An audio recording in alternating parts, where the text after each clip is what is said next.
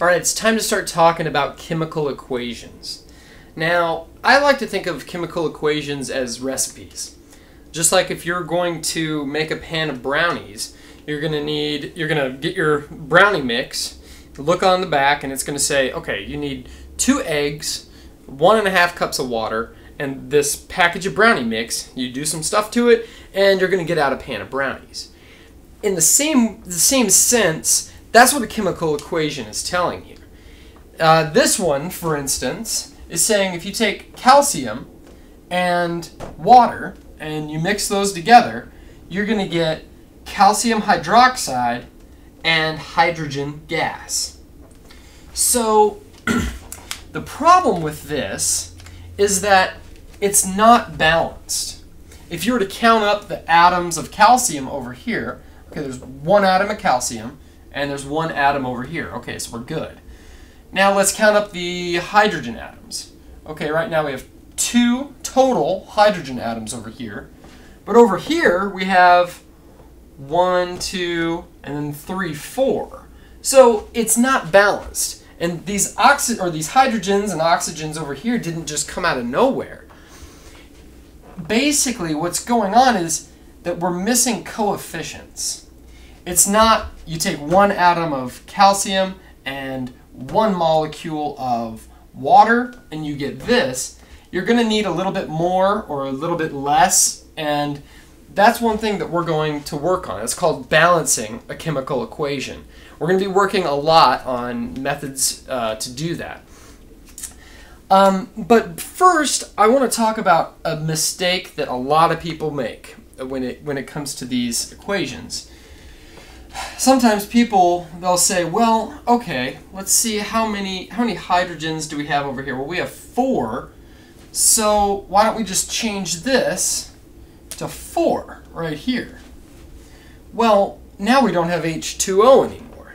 Basically, we've changed. If you do that, you've changed the recipe.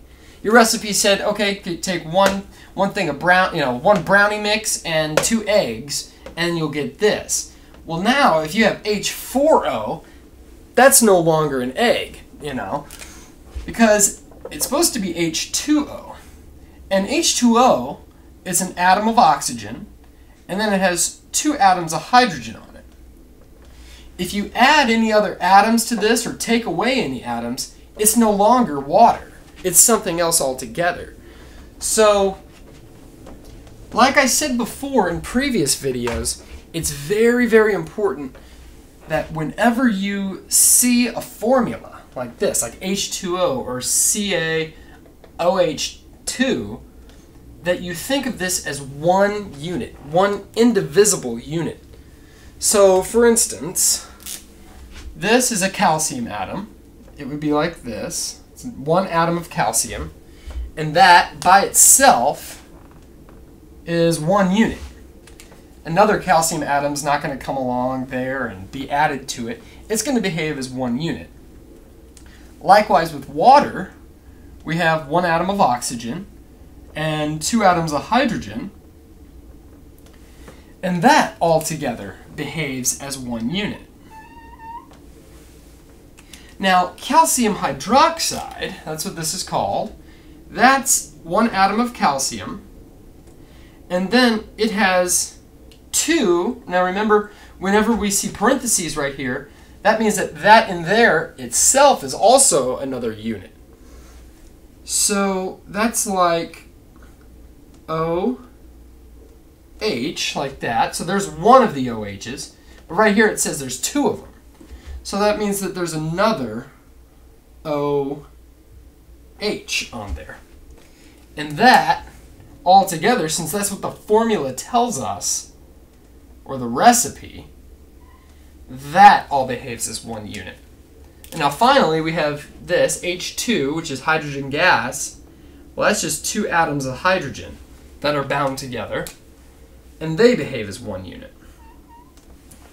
So now we have our recipe. We know what ingredients we need. So if we're going to go to the store, you know, we call up, hey honey, what do I need to pick up? Uh, I'm going to need some calcium atoms some H2O, calcium hydroxide, and hydrogen. How much should I get? I don't know yet. Just get a lot of it. So that's kind of the point that we're at now. But now we need to balance all of this. And so let's see what we need to do. Okay, the first thing I do when I'm in this situation, trying to balance a, a chemical equation, I'm going to start with, I'm just going to pick one of the atoms. I'm going to say, okay, calcium. Let's start with that one first. Over here on the left side of the arrow, how many calcium atoms do I have? All right, calcium. Well, I'm looking and I only have one. Okay. Now, what about the right side of the arrow? How many total calcium atoms do I have? Well, again, I only have one. So the calcium's set. We're good with calcium. Now, let's just let's just go along. Now let's say hydrogen. This is just the next element that I see, the next atom.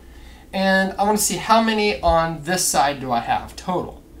Well, we have H and 2, so I must have 2. And you can see there's two atoms of hydrogen there. Okay.